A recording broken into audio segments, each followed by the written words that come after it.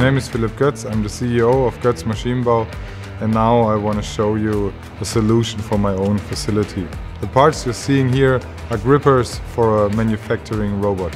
At the beginning uh, we started with a classical design uh, but it was too heavy for the robot and also the time of the production would be too long. We couldn't use a standard uh, gripper so we uh, decided to build a new one.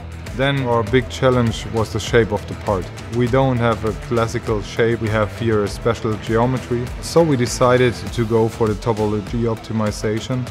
We were thinking about which kind of material we are using and which kind of technology. And so we decided to go with the SAF technology and print the parts on the H350 out of PA11. At the end we saved about 75% of the weight and we did the production in two days.